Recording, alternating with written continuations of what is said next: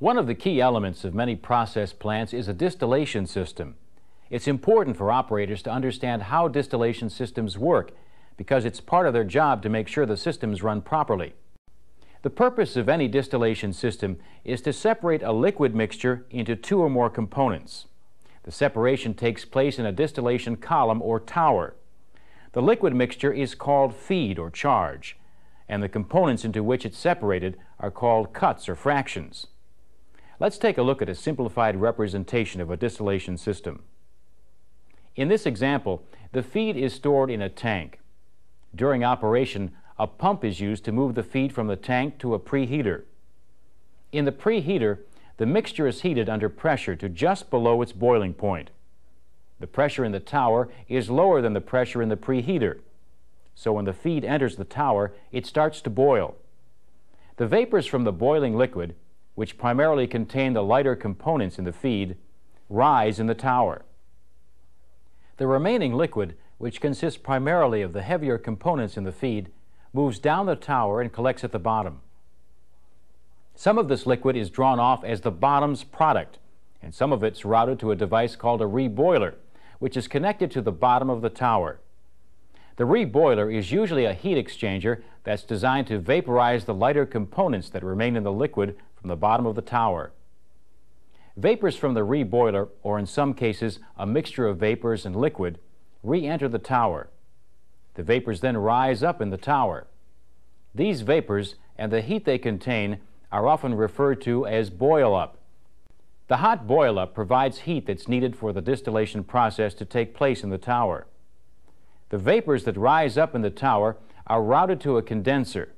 The purpose of the condenser is to cool and condense the vapors into liquid. From the condenser, the liquid flows into a receiver or accumulator. The receiver provides a reservoir for the liquid. Part of the liquid from the receiver is pumped back into the top of the tower, and part of it is drawn off as the tower's overhead product. This is a separate vapors and liquid. The trays are spaced throughout the tower. They're called sieve trays because they have many openings in them, like a sieve. Here's a closer view of some of the trays. We've exaggerated the size of the openings to make them easier to see. The openings in the trays allow vapors to rise through the trays on their way up the tower. Each tray is also designed to hold liquid. Dams or weirs on each tray allow liquid to build up on the tray. Liquid that overflows the weirs flows into downcomers. The downcomers channel the liquid from tray to tray down the tower. When the upward moving vapors and the downward flowing liquid come in contact on each tray, the vapors transfer some of their heat to the liquid two things happen. The heavier components of the vapors become cooler and condense into liquid, and the lighter components of the liquid boil. The vapors then rise toward the next tray. As this process continues, the rising vapors contain a higher concentration of lighter components and a lower concentration of heavier components. So this is how the distillation process is repeated on each tray as the vapors rise through the tower. Now, not every distillation tower is designed in the exact same way. However, every tower can be divided into three basic sections. The middle section is where the feed enters the tower and part of the feed vaporizes. This vaporization is commonly known as flashing. So this section of the tower is often called the flash zone. The section above the flash zone is called the rectification section. In this part of the tower, the concentration of lighter components increases. The section of the tower below the flash zone is called the stripping section. In this section, the lighter components are vaporized or stripped from the heavier liquid. If a distillation tower worked perfectly, it would produce pure products. Unfortunately, that's not the case. The lighter products usually contain some heavier fractions, and the heavier products usually contain some lighter fractions.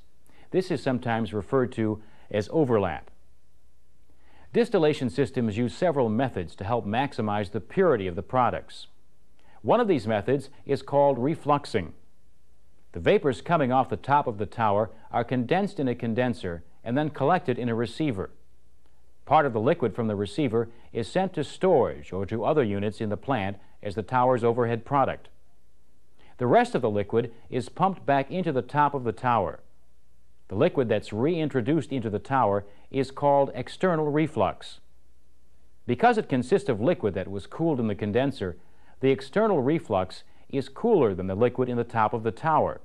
As the external reflux cools the top of the tower, vapors made of heavier fractions condense. The liquid made of heavier fractions flows down the tower and is referred to as internal reflux. Meanwhile, the top of the tower is still hot enough to keep the lighter fractions in vapor form. The vapors are drawn off the top of the tower and into the condenser. Refluxing increases the purity of the overhead product because condensing the vapors made of heavier fractions keeps them out of the stream of vapors that leaves the top of the tower. Another method used to maximize product purity is called reboiling. The bottom's liquid that's drawn off from the tower is sent to a heater called a reboiler. The rest of the bottom's liquid is sent to storage or to other units in the plant as the tower's bottom's product. The reboiler heats the liquid it receives so that a mixture of vapors and liquid is formed. Depending on the system, either vapors or the mixture of vapors and liquid is then reintroduced into the tower. The hot vapors cause any lighter fractions in the liquid at the bottom to vaporize and move up the tower. This reduces the amount of lighter fractions in the bottom's product. The reboiler provides the major portion of the heat that's required to make the distillation process work. In the type of system we've been discussing, the heat supplied by preheating the feed is not sufficient for proper distillation. The reboiler is needed to provide enough additional heat to vaporize the lighter fractions in the tower so that the products meet specifications. Although all distillation towers serve the same basic function, they don't all have the same internal components. One type of tower uses trays called sieve trays to separate vapors and liquid. That type of tower is covered in the tower operation part of this program. In this part, we'll look inside two other types of distillation towers and see how their internal components differ. Let's start with a tower that uses trays with bubble caps. The holes in each tray are covered with caps called bubble caps. The slots in these bubble caps disperse the rising vapors through the liquid on the tray. Each bubble cap has many slots, and each tray has many bubble caps to spread out the vapors. This ensures maximum contact between vapors and liquid so that maximum heat transfer can take place. Another type of tower, called a packed tower, contains layers of devices called packing instead of trays with bubble caps. There are many different types of packing. Some towers have sections that are filled with cylindrical rings like the one illustrated here. It's known as a Raschig ring. Another type of packing is known as a Berl saddle. The packing breaks up the liquid so that it flows over a large amount of surface area.